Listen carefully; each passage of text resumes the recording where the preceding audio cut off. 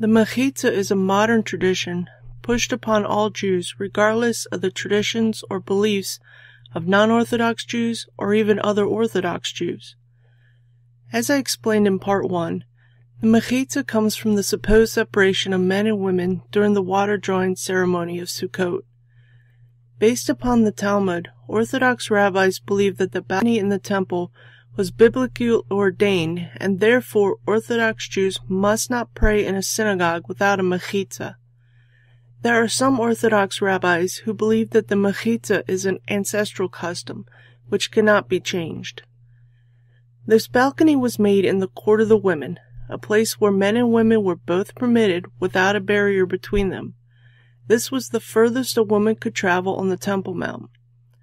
It can be safely assumed that before the balcony was built, men and women worshipped together in this court without a mechitza or other barrier. In addition, during certain times of the year, especially Yom HaKippurim or Yom HaTorah, the smaller women's court would not be able to contain all the worshippers, which meant the outer court, known as the court of the Gentiles, was utilized by worshippers where there was no indication of a mechitza. There are late 19th century drawings and early 20th century photographs of men and women worshiping at the kotel without a mechitza. When Rabbi Rabinowitz is asked about the photograph showing men and women praying without a mechitza, he rejects this argument, stating that the photographs are meaningless since the kotel wasn't under Jewish sovereignty. They couldn't read Torah or blow the shofar, he said. They could hardly pray there. The British did terrible things. You want to go back to that? The British didn't establish local custom.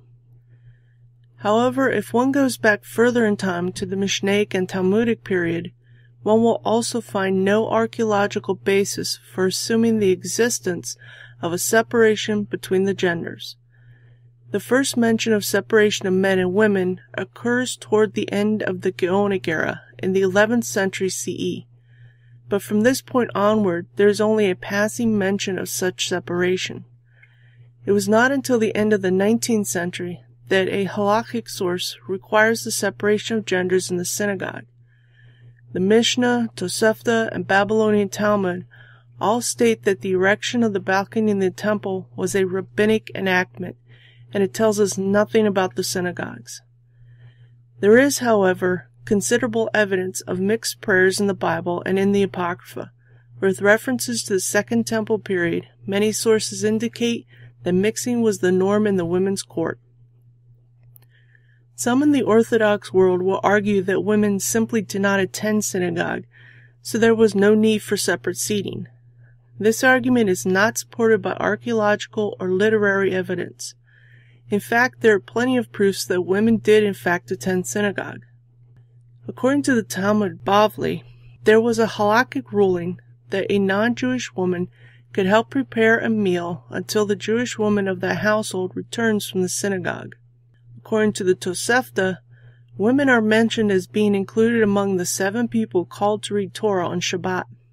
In addition, the Jerusalem Talmud tells of a woman from Tiberias who went to synagogue every Friday night.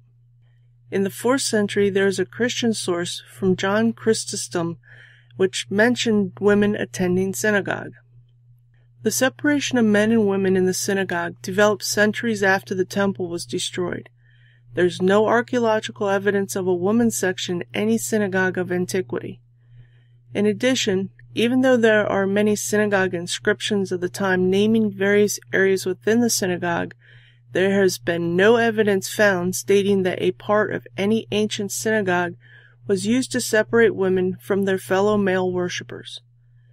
The majority of these synagogues had a single prayer hall, but no balcony, and even for those few that had a balcony, there is no reason to assume that the balcony served as a woman's gallery. The balcony, even according to rabbinic sources, may have functioned as a meeting space, a place for the Beit Din or rabbinic court to practice, meals, study, or even a Hazan's or cantor's living quarters. Out of all the traditions in rabbinic literature that address the synagogue, not one mentions a woman's section. The only rabbinic source that mentions a separation is the balcony years during the water drawing ceremony of Sukkot. However, it appears from this place in the Talmud that during the other times of year, men and women mix together in this portion of the temple. With all this evidence, why does Rabbi Rabinowitz defend the mechitza at the kotel? I would dare to say that the issue is one of following man-made traditions, which are treated as actual mitzvot. However, why does the rabbi and those at the Western Wall Heritage Foundation refuse to listen to reason? In addition to following man-made traditions instead of Tanakh, I would say it is due to the fact that the rabbi and those at the foundation have the power given to them by the government to turn the kotel into a Haredi synagogue. The body which has been given the keys of the Kotel by the Israeli government is a non-democratic, non-elected body, said Lesley, Sachs, Women of the Wall's director. It's not a body that gives any kind of representation to world Jewry or Israeli Jewry. They have turned the Kotel into a Haredi synagogue. Nowhere in the Tanakh is there a command to separate men and women during public worship or assemblies.